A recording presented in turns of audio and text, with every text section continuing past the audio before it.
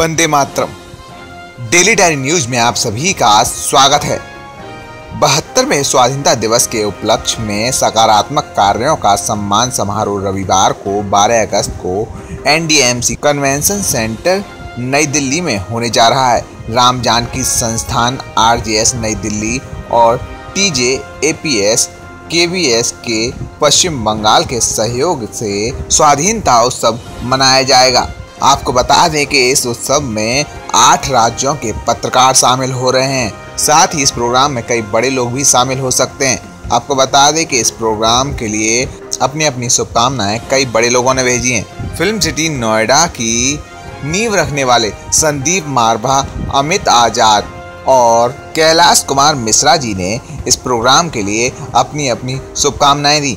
सबसे पहले तो मैं आरजे संस्थान के सभी मेंबरान को तय दिल से मुबारकबाद देता हूँ कि आपने 12 अगस्त को एनडीएमसी कन्वेंशन हॉल के अंदर एक बड़ा भव्य कार्यक्रम की जो योजना तैयार की है, वो मुझे और मेरे दिल को छू रही है। 15 अगस्त के नज़दीक आने से शायद एक बड़ा अच्छा मुझे लगता है माहौल बनेगा और देश के अंदर एक बहुत बड़ा संदेश जाएगा कि जहाँ पर पत्रकार लोग मिलकर फिर से एक बार उन सभी लोगों को सम्मानित करने जा रहे हैं, जिन पत्रकारों ने साल भर के अंदर देश के प्रति कुछ ऐसी लीला, कुछ ऐसे कर्म किए हैं कि उन्हें अवार्ड दिए बगैर हम लोग रह नहीं सकते।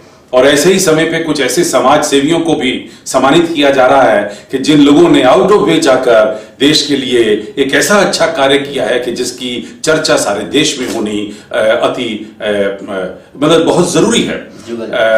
मैं इतना ही कहना चाहता हूँ कि देश से बड़ा प्रेम कोई और नहीं है और देश से बड़ी भक्ति और कोई नहीं है।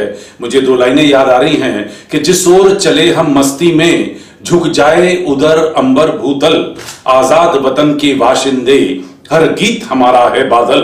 विविध प्रांत है अपनी अपनी भाषा के अभिमानी हम, लेकिन सबसे पहले दुनिया वालों, हिंदुस्तानी हम। वंदे मातरम।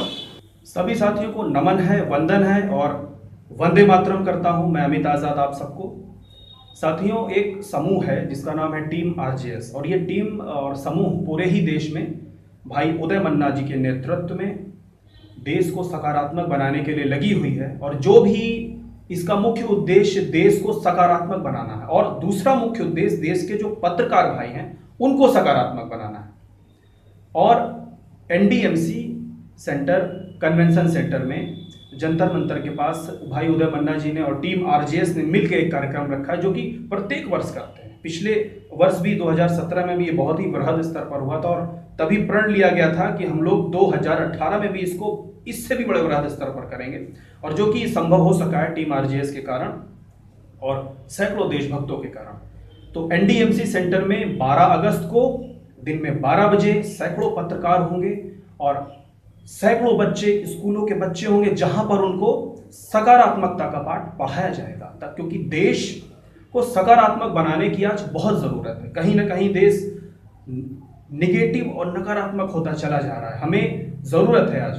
और दूसरा मुख्य उद्देश्य इस कार्यक्रम का ये है कि हम या जो भी आज देश में देशभक्त काम कर रहा है, चाहे वो भगत सिंह जी रहे हों उस समय में, शहीद या शहीद चंद्रशेखर आज़ाद जी रहे हों, या आज भी जो भी देश के लिए बड़े काम कर रहे हैं, उनके पीछे उनके परिवारों का भी बहुत बड़ा एक सहयोग होता है। तो ऐसे ही पत्रकारों के परिवारों को भी 12 अगस्त को सम्मानित किया जाएगा, क्योंकि हमारे पीछे, हमारे परिवारों का भी एक क्रांतिकारी रोल होता है।